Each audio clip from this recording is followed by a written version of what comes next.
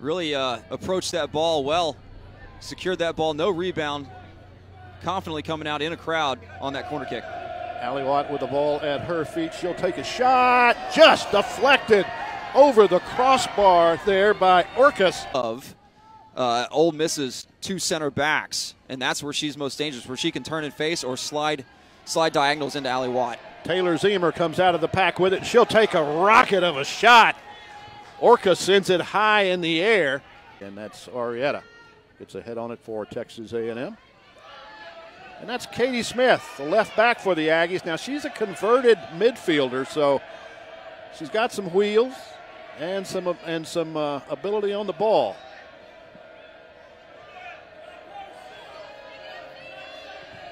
Watt sends the ball in. What a great wow. job there by Ashley Orkus. Fantastic save. Scooped up by Orkus.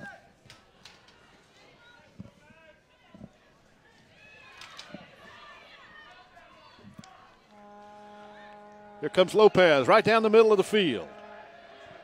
She'll take a rip. Goal. Texas A&M.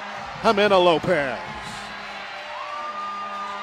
Her Again, ninth of the season. It was going to take something special to beat to beat Orkus tonight. Jimena Lopez finds herself in the middle of the field, turns and finds a lot of real estate in front of her. Attacks Ole Miss's back line on the dribble. Addie McCain getting forward. Alcis Hollistorter drifting wide. Ally Watt with a diagonal. Jimena Lopez hits that from about 25 out with pace just over the outstretched arms of Ashley Orkus. A much needed response. Jimena Lopez with the corner kick.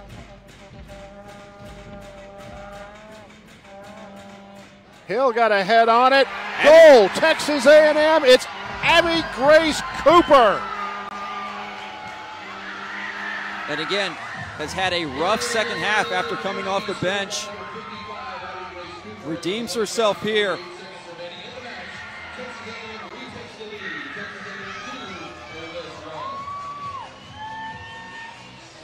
And it was off of a high floated bending corner kick off the left foot of Jimena Lopez.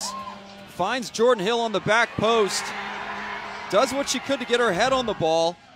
Abby Grace Cooper finds the ball at her feet, turns and just flicks it in with her with her weak foot, her right foot.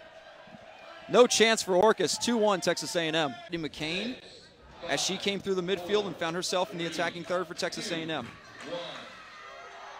So Texas A&M is going to come away with the victory here tonight, two to one over the Ole Miss Rebels, as is always the case between Texas A&M and Ole Miss. It's a great game.